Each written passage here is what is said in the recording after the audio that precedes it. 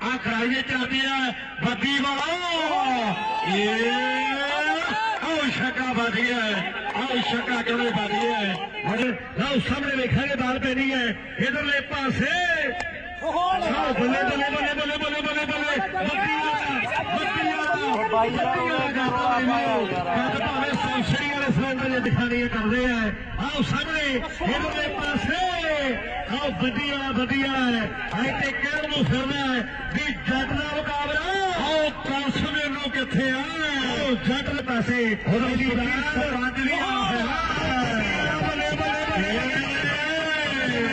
ਆਓ ਸਭ ਤੋਂ ਵੱਡਾ ਸ਼ਕਾ ਹੈ ਆਓ ਹੁਣ ਤੱਕ 29 ਰਹਿ ਗਏ ਭਾਈ 13 ਵੱਲ ਆਓ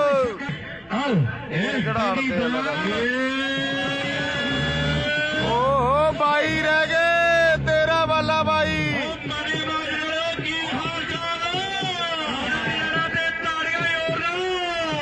ਹੈਰੀ ਬਰਾੜ ਮੈਨੂੰ ਕੀ ਲੋੜ ਆ ਬਾਈ ਲੱਗਣ ਦੀ ਦਾ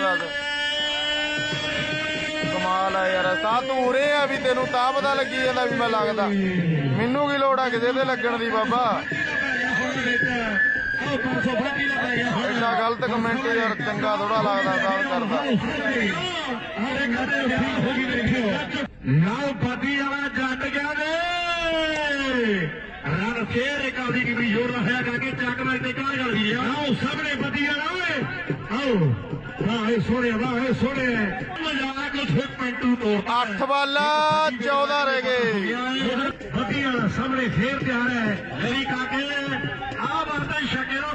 तेरह रह गए सत वाल तेरा ओ बा बाबे सत रह गए छे वाला ਲਓ ਸਾਹਮਣੇ ਸਾਹਮਣੇ ਸਾਹਮਣੇ ਪਹਿਲੀ ਬਾਲ ਖੇਡ ਮੈਦਾਨ ਦੇ ਵਿੱਚ ਟੱਕਰ ਕਰੇ ਚੋਟੀ ਦੀ ਮੇਰੀ ਵੀਰੋ ਮੁਕਾਬਲਾ ਕਰੇ ਜਿਹੜਾ ਸਵੇਰੇ ਹੈ ਕਾਕੇ ਕਿ ਉਧਰੋਂ ਪਾਲੀ ਪ੍ਰਧਾਨ ਦੀ ਬੀਜੇਪੀ ਆਲ ਸੈਲ ਚੰਡੀਗੜ੍ਹ